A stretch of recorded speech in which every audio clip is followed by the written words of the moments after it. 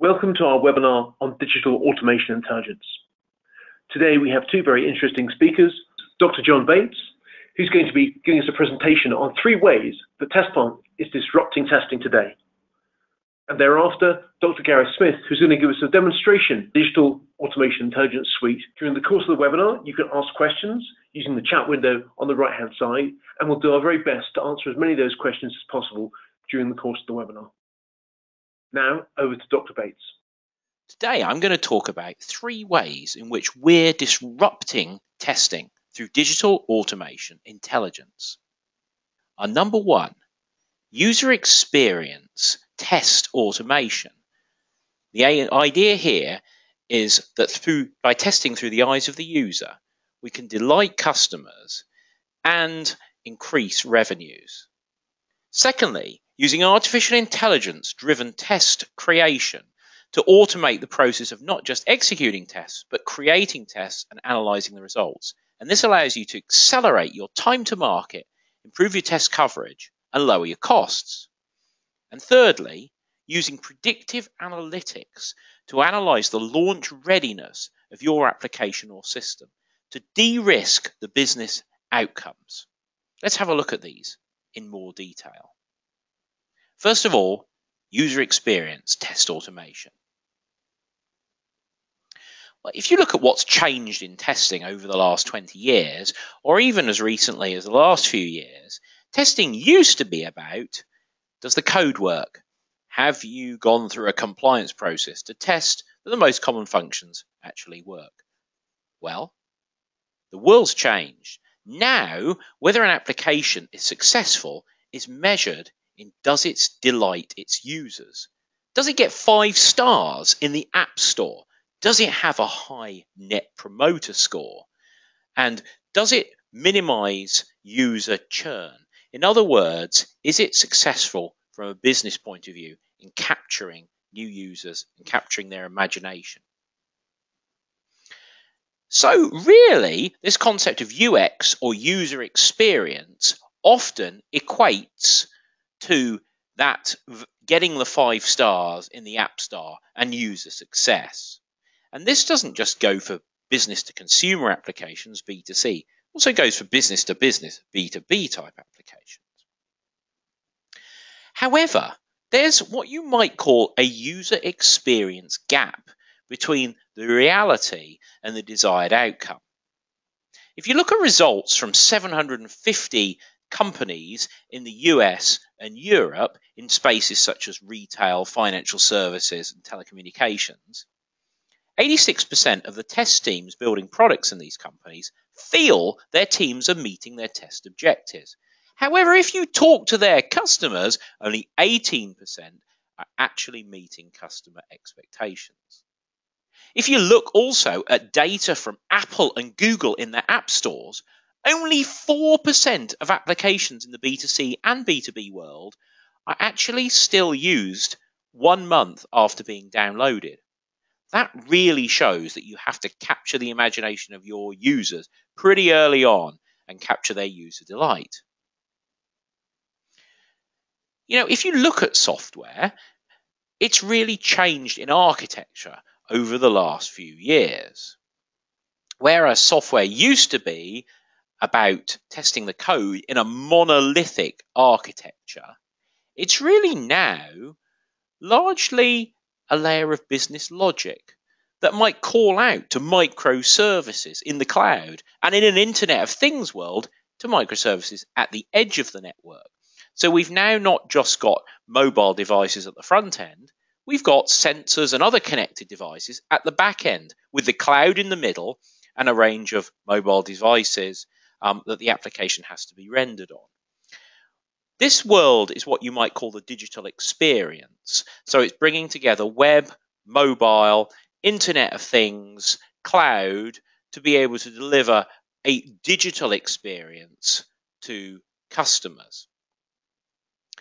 If you combine that with the fact this is a DevOps world, a world of agile development with very rapid development cycles, um, then that combines in the complexity in that you just don't have much time to do extremely complex monitoring. And if you think about this world where um, you've got this layer of business logic that's calling out to microservices in the cloud. You don't even own the code largely anymore. So, how can you actually test the code as if you own it? You need to test this through the eyes of the user, as if a user was actually using the application. You need to be able to test on a range of mobile and IoT devices, and you need to be able to test microservices and APIs at the back end. So this idea about um, user experience, it's more than just does the code work. It's about does it delight the user. Here's a screenshot from HSBC's application, bank, uh, mobile banking application. If you don't type in a user name and password and press OK, you end up with a blank screen and no way of adjusting anything. What a horrible user experience. It may not be terminal, but it'll certainly put you off the bank. But moving on to more serious systems, Let's talk about NASA, one of Testplant's customers that we're helping. And this is the Orion space vehicle whose mission is to reach Mars with a um, humans on board, um, an actual human mission to Mars, and then to return safely. It's the first space vehicle that has what they call a glass cockpit, an all digital user experience. Previously, space vehicles have taken paper manuals out with them.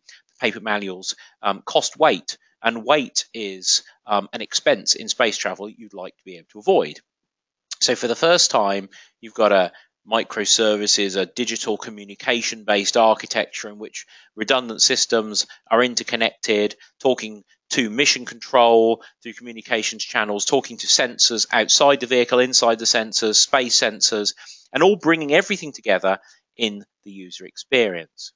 Now, you want to make sure that the right information appears in the right place at the right time and corresponds with the data being sent to those back um, end services. Otherwise, lives can be lost and an expensive mission can um, be affected. So it's absolutely critical, whether it means delighting your customers or completing your mission, that you're able to test the user experience as a user would actually see it. And uniquely, the first way in which Testplant's disrupting testing is by delivering user experience testing through the eyes of the user.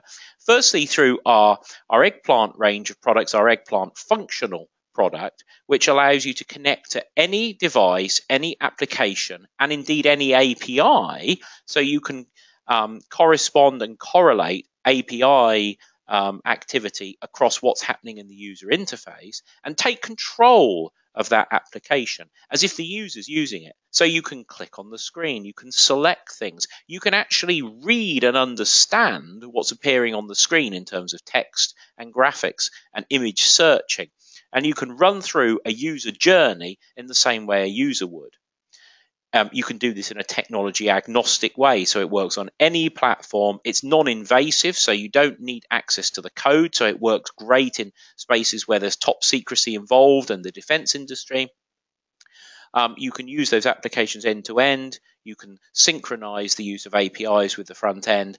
And then you can scale it up using our eggplant performance product so that it's not just one user using it, it's a range of different users with different personalities differing, testing in parallel different characteristics of the system, combining functional user experience testing with load and performance testing. Okay, so that was user experience test automation. And the idea is that you delight your customers and increase your revenue um, in doing so. Second area we're going to talk about in disruption is artificial intelligence driven test creation automation. In other words, using AI to automatically create tests for you. And that's all about accelerating your time to market so you get this disruption in the market before your competitors. You have a much better quality product and you lower costs because you need less human intervention. Very commonly in development cycles is the concept of continuous delivery. You may use terms like agile, DevOps, um, and CD. And this is all about developing, building, testing, deploying, and releasing in a very agile and rapid way. So you iterate and learn from your customers and bring out the next version of your product rapidly. Now, the problem here is there just is becoming less and less time in each release cycle. And if you look at another of my gap analyses, the productivity gap, you'll see going back to those 750 companies in the enterprise software space, um, 30% in most companies on average is spent on QA of the overall IT budget. However, 89% of those teams say they can't keep up. And 81% are saying if we had more time, we'd be able to um, do more better work and we'd be able to have a better impact on the business in our applications. However, you're not going to get more time. You're going to get less time. The time's ever decreasing. So you need to do more automation. Still, a large amount of testing is done manually. And um, if you look at another of my gaps, the automation gap, 56% um, of organizations say they can't use test automation for a significant part of their testing. So we need to increase the level of automation. We need to do more testing in less time. And that's not going to get easier. That's just going to get harder. So how can we do that? Well, firstly, thinking about test automation, it's typically te- focused on only one part of the testing cycle. Here we can see the testing cycle ranging from defining test objectives, defining test cases, creating the scripts, setting up the environment, then executing the tests, reviewing the test results, taking that feedback, and then refining those tests. The only part shown here in purple that's really automated is the execution of those test scripts. So people manually write scripts typically, or maybe use a graphical tool to create those scripts, but they have to de- develop that. Then they have to be run automatically, and then the results manually analyzed. What Test Plant's doing is turning that whole cycle purple. Add through AI and analytics and big data, we are um, uh, automating the process of more and more um, uh, of, of, of automation in that cycle. And how are we doing that? Well, let's look at some of the data, first of all, that our system takes in. We've created a product called Eggplant AI, which is part of our digital automation intelligence suite. Works seamlessly with our functional and performance products I talked about earlier.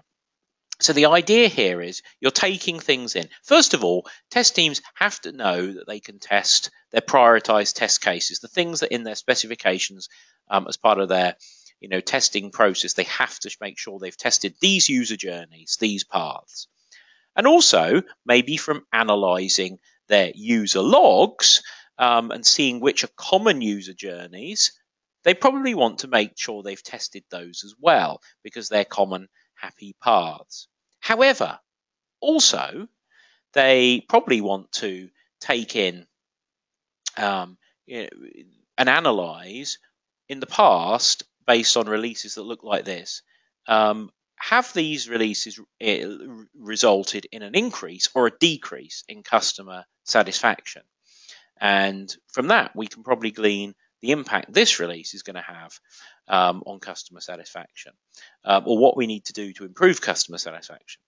Furthermore, we probably want to know which modules the code changed the most in, and even what developers worked on those modules, because maybe those developers have a historical pattern of putting the same kind of bugs in. Um, so those are some of the things we want to take in. Now, what our AI product does is it makes sure you test the common use cases and the prioritized test cases and the common user journeys. But also, it explores permutations you haven't thought of around those. And the idea is most test automation doesn't find bugs. It just automates regressions, finding, um, repeating um, the, the finding of bugs that manual testers, for example, have already found. This product actually finds bugs. It explores user journeys around things, but it also explores unexpected user journeys, such as the one of pressing OK before a username and password has been entered. And the idea there is it's maximizing coverage, it's doing things a human might not think of doing. Um, and it also will prioritize things like code that's churned, code that's changed the most, and even will look for common bugs that a particular developer often puts in there. And furthermore, and we'll get onto this a little bit more in a second, it's about analyzing the impact of this particular release and the amount of code change, for example, on customer satisfaction. So that's Eggplant AI, analyzing, automatically creating the test scripts, and then automatically analyzing the results and feeding back. So that was AI driven test creation.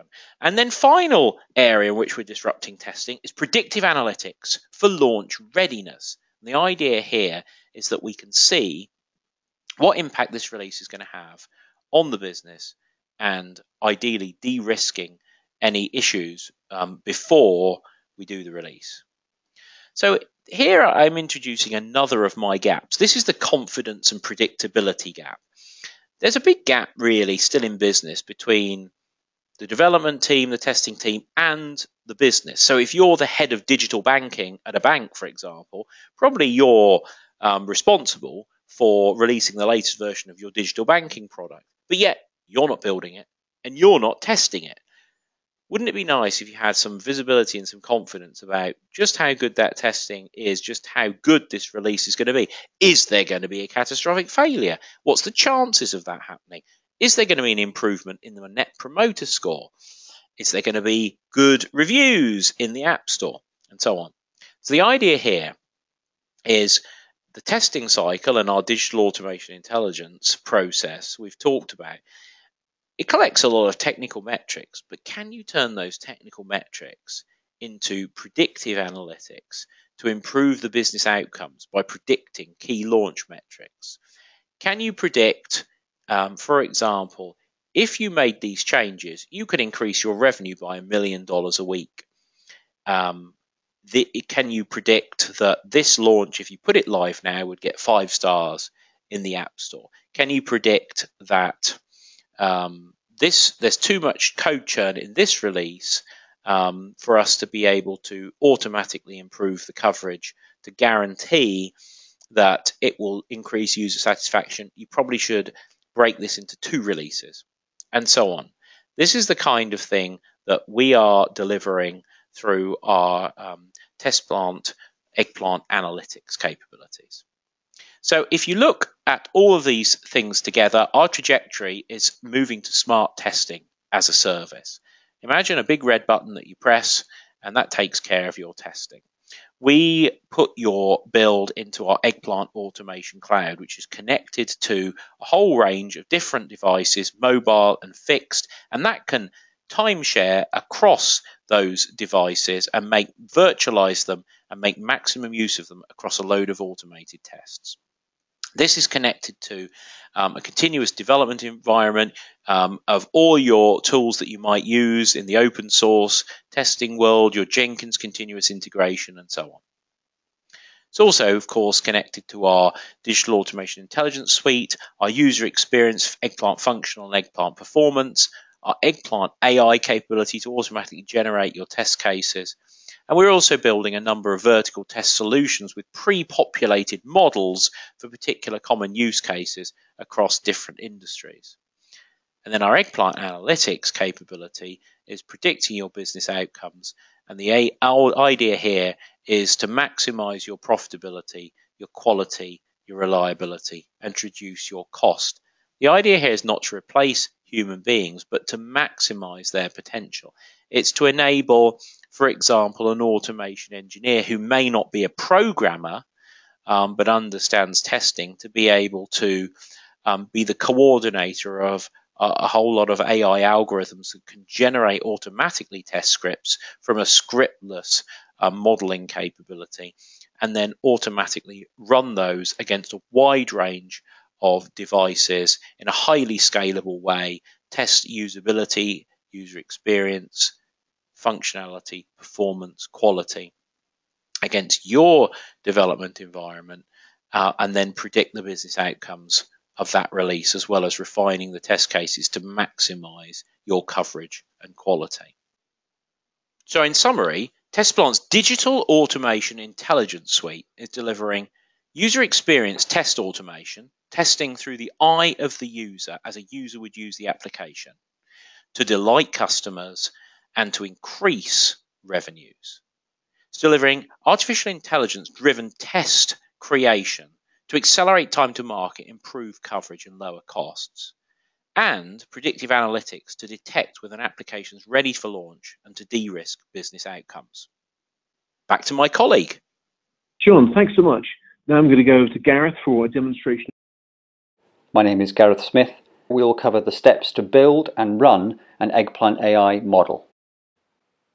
We'll start off by building a simple model that defines a rating application. First of all, in our initial state, we will launch the application. Then we'll move into the next state, which will be our login screen. Within the logging screen, the user can set their username, they can set their password, and then we can click OK to log into the rating application. So I simply create the three actions I need within this screen. Next, we select the Launch App action within the initial state and we link that to the login screen. So when the Launch App action is run, the next stage is to look at all the different actions within the login screen. Now we create the actual rating screen itself. This is where I'm going to set the rating. So I define a state called set rating and I have a, an action in here called the rating button. So this defines the behavior that the user will select to define the rating. Again, like the launch app, I select the OK and I point that to the rating button so when the user clicks OK, they go to the rating button. The final transition I make here is from the rating button to the exit state. The exit state is not shown as an explicit state, so we see a small pop under icon rather than explicit arrow.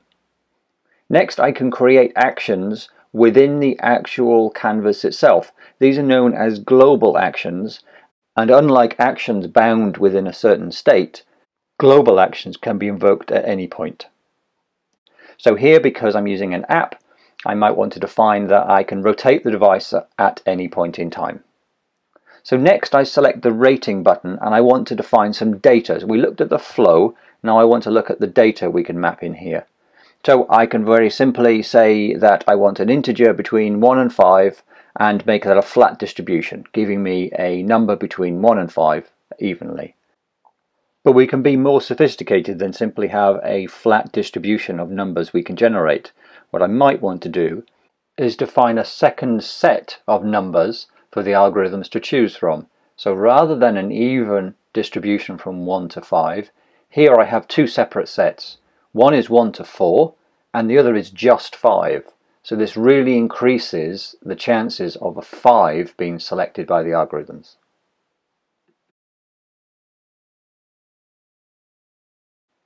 And while it is best to let the algorithms within the system take the model and choose where to go next, there are some cases where we do need to narrow down that search space. So for example here we may say that the OK button really can only be pressed once the user has set both the username and a password. We're not defining the order here, so let's just say that we need to have both of them. Now we can do that by using variables within our system. You can see that I have generated two variables for this login screen. One is the username and the other one is the password. So these will be booleans to say whether we have set these or not. But by default, when you first enter that state, we will set them to be false. So we have not yet set the username or the password. Now I select the username action within that state and what I need to do is say that when I'm here I set that has username variable to be true. So we are recording that we have entered something into the username. And likewise we do the same for the password action.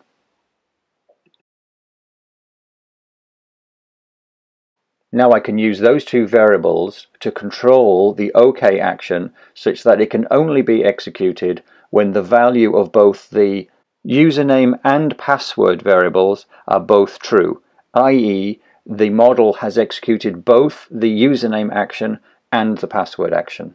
Now I've defined my model, I can execute it. You'll see the states grey out and then the flow of the application run through as each action is triggered. At the end of the run, we can see, not surprisingly given our weightings, that the value of 5 was selected for the rating. So now we've run our model, we can look at the coverage report. This gives us a expandable tree view of the different states and actions we've looked at. And we can see from the rating value action that the number of 5 is the only one selected because we've only run this once and we know that was the value that the algorithms picked. Now let's look at a model for a richer application. Here we're going to look at the Apple Store app. When I launch this app, then I see a home page. On the home page, there's a menu at the bottom that shows me Discover, Shop, Account, Bag. I also have a search icon at the top right hand corner. So let's start to model this application. First of all, I have my usual start state, and in my start state, I've already added a launch app action. This will launch the app for me. Now let's build a state that models this home page. We're going to call that the home screen and I need to add some actions into that. The first action we're going to add is the discover action. Then we move on to add the shop, then account, and then bag. That covers the main actions at the bottom of the home screen but we also have the search icon.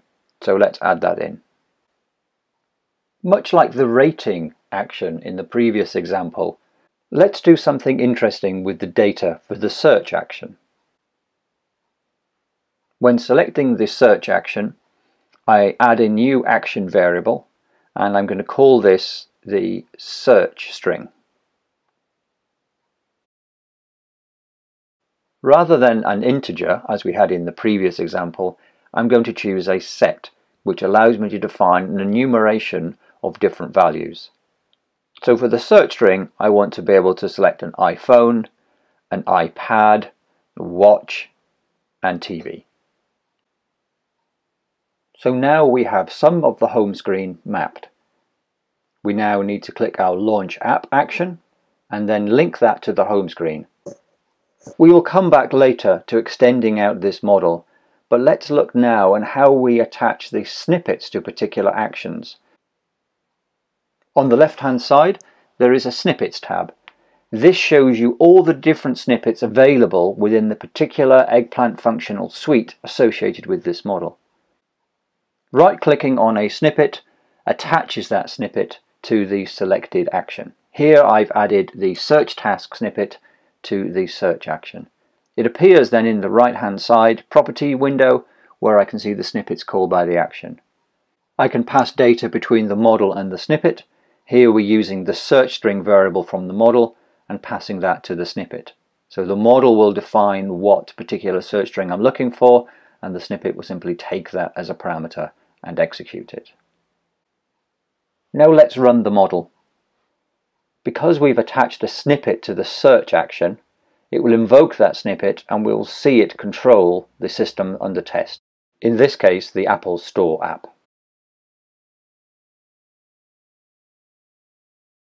When the search action is selected, the model will select a value from our search string variable and then pass that to the snippet. And we'll see the snippet control the application and here it's selected TV as the search string and as the process repeats, different values for the search string will be selected by the model.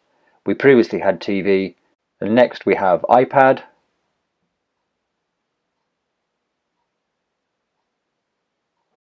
and finally we have iPhone.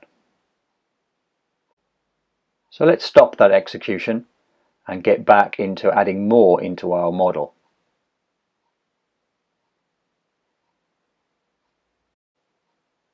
So let's add another state. And in this, we will look at the actions a user has within the account screen. I will rename my new state something sensible. Let's call it the account screen. And then we'll look at the app itself and see what options the user has and then select actions for those. You can see in the app itself I have options to look at my favorites my orders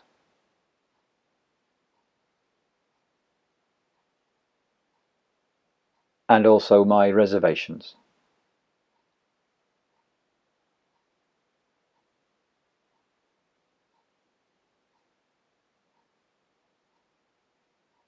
I will link the account action in our home screen to this new account screen state.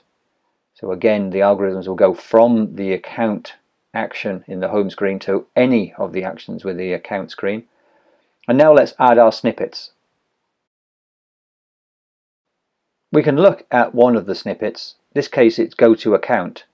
We can see at the bottom screen in the console the SenseTalk within the snippet itself.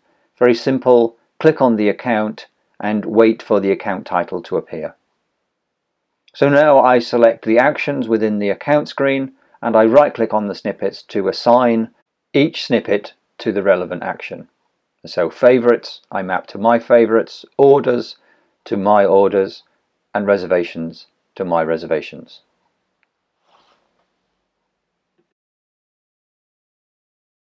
So let's go and run this model. As before, we launch the application. We're in the home screen. It's selected account as the state to go to next. We go to the reservations. Then we're looking at orders.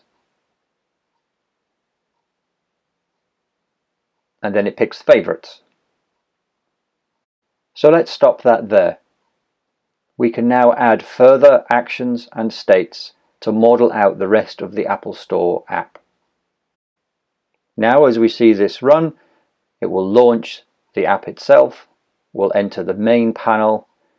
Here it's selected the shop action and we'll browse through the shop pages in order for it to select a particular device from the data we've entered into the model. So here it's moved down through the flow, selected an iPhone X in silver and the memory capacity it's selected is 256 gigabytes. And you can see in this model that once a phone has been selected, the test moves to the exit state. In the exit state, we've set it such that the app itself is shut down. Now let's look at the coverage report for this richer model. This shows us a combined summary of all our test runs for this model. We can continue to explore the tree view or have the coverage report visualized as a heat map on top of our model. The dark blue areas represent high coverage and the light grey areas low coverage. Thanks so much, Gareth, for that demonstration. Now we're going to go to a few questions from the audience. We have a question here from a Senior Director of Application Development at ADP. And their question is What are the AI capabilities in test planning? Yeah, I mean, there's lots um, of uh, AI capabilities uh, in test planning uh, that we've been exploring. I mean, today there's such a huge amount of data that's relevant to testing, and you know, there's things like you know the quality data from previous releases, including you know how many defects were found in the last release, um, you know where. Uh, it's got development data like what components have changed in this release, what complexity is it? I mean, who made the changes? How sort of reliable are those developers over time? You know, when you've got user data, you know, what journeys do real users do? Uh, what impacts do particular defects have on those journeys and so on? You know, and test planning uh, is supposed to be about taking all this kind of information and understanding what testing is needed to maximize quality and to provide confidence. But you know, that's pretty much impossible to do manually. Uh, it's really just too much information.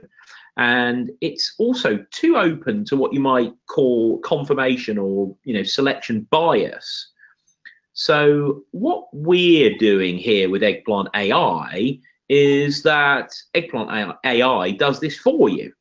It's about taking all this information and using machine learning and AI to determine what testing needs to be done and optimizing your testing to improve the user experience and give you confidence.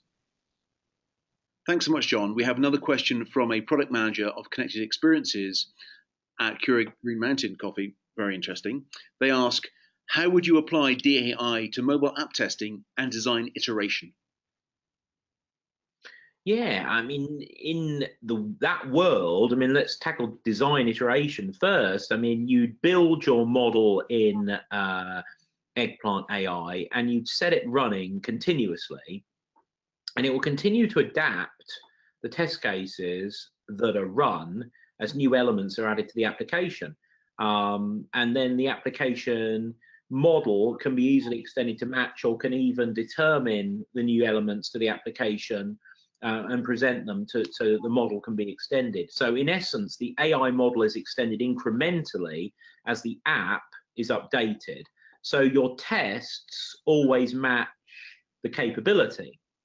And with regards to applying that to mobile app testing, one of the unique things about digital automation intelligence is that the AI model automatically generates the tests that are then automatically run using uh, Eggplant Functional.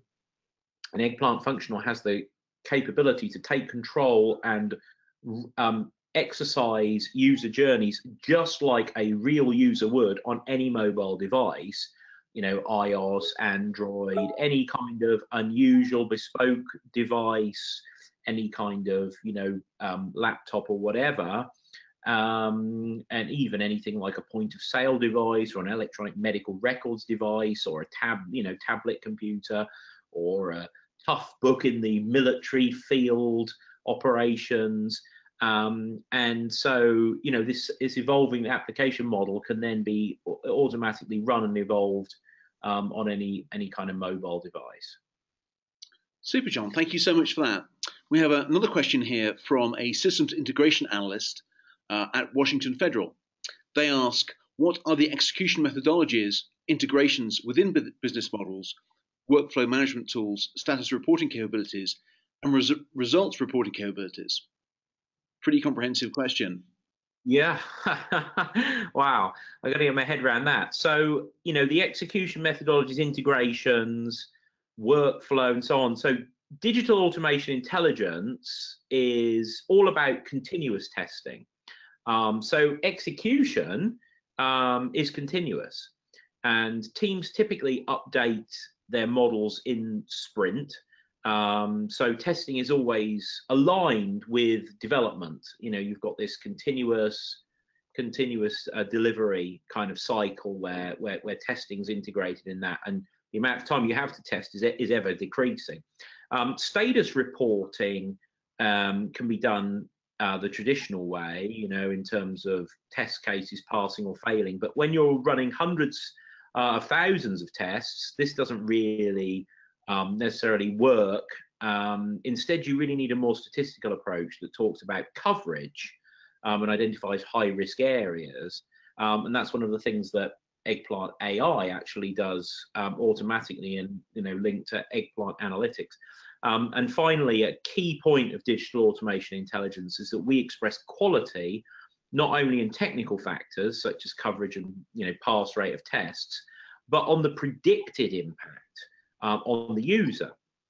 So if you release now, um, you know, you would, uh, you know, you're at the level of 3.5 eggplants out of five. Um, and, you know, we predict that uh, you should be very cautious about releasing. Um, but, you know, with a little bit more testing in a particular area to improve your coverage, um, and uh, some improvements to the user experience that might be pushed to four eggplants out of five, which is uh, a go for launch, or you might, you know, have four and a half eggplants out of five, which might give you sort of exceptional uh, quality. So it's about predicting, you know, what will be the net promoter score, what will be, you know, factors like the churn or the or or the uh, the impact um, on on user experience. Super, John. Thanks so much. We have another question from somebody else at ADP, a, lead acceptance test engineer.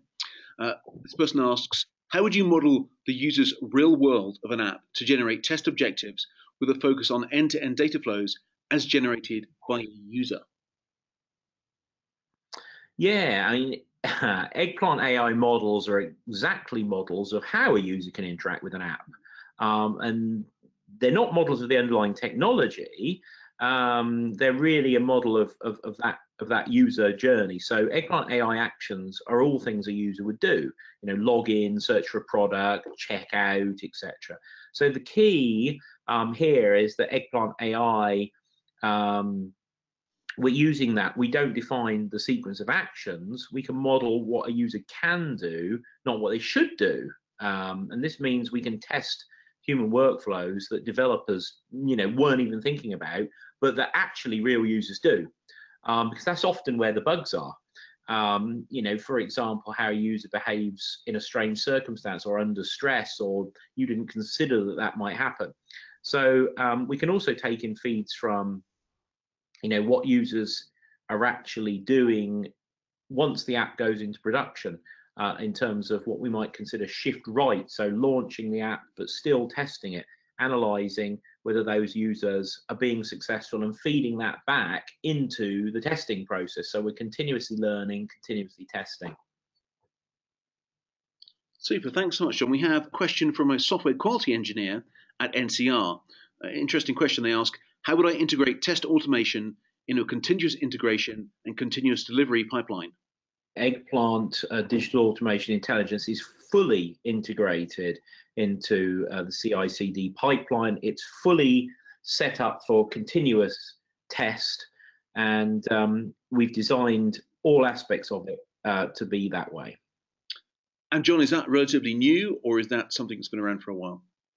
No, that's something that's always been part of the capability, but now we've taken it to the next level um, because not only are we doing continuous uh, tests from an automation point of view in terms of you know automating test execution, but we're doing continuous um, recalculation of the very test cases. No other company um, in the industry offers true continuous testing from the point of view of the entire test pipeline from recomputing the tests to running them to analyzing the data. Some might say they've got continuous testing in terms of execution, but nobody does true continuous testing integrated into that CI CD pipeline. Thanks so much, John. That was an excellent answer. Uh, now, let me turn to the next one from a senior QA engineer at a company called Desert. Um, they asked, How does DAI, DAI impact the industry and possible jobs in the future? Which is a very interesting question. Oh, it's a oh, it's a very topical question, um, and uh, you know we, we, the, the question that everybody always ponders is: Is artificial intelligence going to take our jobs? I mean, we have taken a completely different approach. We believe that digital automation intelligence transforms testing from a you know compliance cost center to a revenue generating um, you know profit center um, and part of that is powering the human tester to be 10 to 100 times more productive. Um, it's it's really about getting more out of your team because you know we need to get better coverage, better quality, quicker time to market. So it's about testing that's measurably increasing the revenue of an application so that the priority of testing will increase. Testing really um, is big is the business function um, because you know you're betting the business on you know the software that runs it. Um, so in, by increasing automation of repetitive work, um, we're really elevating testing to more of a consultative, high value activity. And I think this is the way really that AI is going to impact society. It's it's going to you know allow people to be so much more productive and it's going to help out with the more mundane aspects while allowing you to specialize on you know the domain expertise or, or, or getting your job done.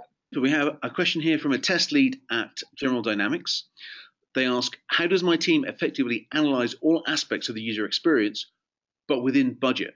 You know all aspects of the user experience will include you know the functionality the performance and responsiveness um, of the system and the usability. So, is it nice to use? Does it work? And does it perform? And all of those aspects can be frustrating and, in fact, you know, business losing if you get them wrong. So, we all know about functional automation. That's probably the most common um, aspect, and we have very unique um, uh, you know approach to this um, in terms of taking control of any kind of device and using it as a user would, as well as being able to automate through APIs and the underlying objects. But performance and usability have traditionally been hard. Um, performance um, because it requires deep knowledge of protocols and usability um, because it, it's somewhat subjective and what does it actually mean um, but we've incorporated both of these aspects into digital automation intelligence. Um, and you kind of get them for free, if you like, in, in, in terms of the suite. And um, we're trying to make performance testing more accessible by making it simpler to transform your functional tests into performance tests. So Eggplant AI generates your tests, and those same tests um, can be um, run from a functional aspect and then scaled up to multiple users using them at the same time, for example, um, and measuring the, the, various delays and responsiveness of, of, those tests. And we're also trying to make usability um, testing something that's actually measurable and you know kind of crunchy by combining things like pre-release heuristics with post-release uh, monitoring. So we're measuring, for example, things like, um, you know, uh, is the is is the text readable? Is the are the is everything laid out in a nice way? Are the colours conforming to usability standards or corporate standards? Um, but you know, uh, using that to predict things like user satisfaction and accessibility to those, for example, the partially sighted, um, and to actually make recommendations about what to do. So combining, you know, having a single AI type model that can generate and then be used by a fusion engine or set of engines that can do all those things at once, um, and then, you know, feedback the results in analytics. The same suite, this is about within budget, you can basically get all those capabilities, if you like, at, at, the equivalence of where you might have had to buy a myriad of different tools in the past, all from the Digital Automation Intelligence Suite. A manager from TIAA uh, asks, how would I speed up automation along with building resilience in the automation suite? Yeah, how would I speed up automation and have resilience at the same time? Well, um, speeding up automation, I mean, we've really talked about it, you know, um, Eggplant AI auto-generating your test scripts massively, massively improves automation. So you spend a little bit of time at the beginning building out your model, but then, you know, your, your productivity curve is huge because you don't write the scripts, it does. Um, you know, and our, our technology agnostic approach also makes it, you know, much more resilient than any other system because you build the script once and it runs on all platforms. Um, so you don't have to do it, you know, n n um, you know by n in terms of different platform combinations. And so this is incredibly um, incredibly powerful uh, approach. And then you know the resilience also comes from the system can almost self-refine as uh, as the application changes over time. Uh, so you know you're on many different platforms with a, um, using the same uh, approach and uh, and a sort of self-evolving um, script. So you know huge productivity, but still with resilience. Uh, here's a question from a test manager at a leading healthcare company. They ask, and it's a common question. We've seen other people ask this too. How do I make the business case to my boss for using something like DAI? Yeah, there's a number of dimensions that you can bring out to make that business case, and it's all about the um, increased um, time to market and the potential increase in revenue, or you know, beating out your competitors you can get from that. The reduced cost in terms of the number of testers you need to have on a particular project, so it enables you to do, you know, to to use those testers on a lot more things in parallel rather than having them be a bottleneck all applied to one project and it taking a long time. Um, so there's there's both cost uh, benefits um, on the upside and the downside, and I think you can even, if they want to get more proof, you can do a proof of concept, and um, you know that that prove those productivity gains um, where you know organizations have gone back and, for example, tested um, products that they they where they knew the bugs were because they've achieved them from the last six months of manual testing and they found them in a day, and that just shows you the kind of productivity improvements you can get. Thanks so much, John. And thank you so much to all our attendees today. We're going to be sending out a recording of this webinar very shortly, and we look forward to inviting you all to the next webinar event in the next couple of weeks. Thank you all so very much.